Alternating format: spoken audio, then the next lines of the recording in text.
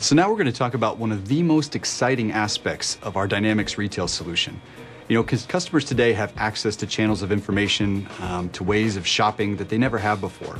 An example would be social networks, uh, Facebook, Twitter.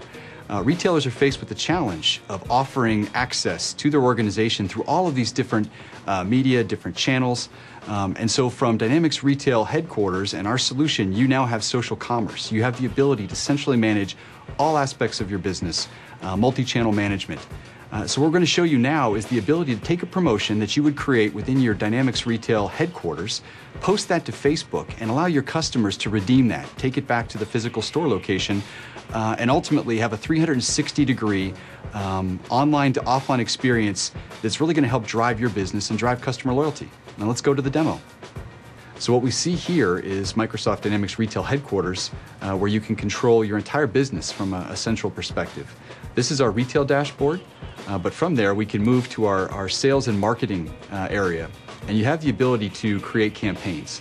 And a campaign can be by region, um, any number of different variables, but it allows you to target different audiences uh, with promotions, with discounts, with coupons, whatever the case may be.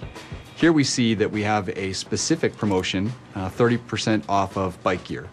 And we can do different things here. We can set a start date for this promotion, we can set an end date, uh, a number of different uh, areas that we can modify. And then at the end of the day, when we're ready to publish, it'll bring us to a page where we can look at setting the parameters of what this promotion will look like, um, whether it be on Twitter, whether it be on Facebook. In this case, we're going to say that you know, it's, an, it's a short time offer, uh, first come, first serve. Um, we're even going to go so far as to add an image to make it a little more eye-catching on the site. So in this case, um, we could choose a specific image that we have stored. Um, we're going to add a coupon image, add that, make sure that it's ready for external consumption.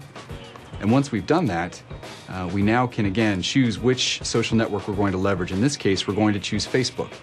So once we hit publish, the real magic happens. This is where your Dynamics Retail Headquarters solution will, will automatically post this promotion uh, to your social network or the page that you have set up. Here you can see that we've successfully published. We're going to close this. And so now when we go back out to, um, to our page, our actual Facebook page, what you see here is the Facebook site.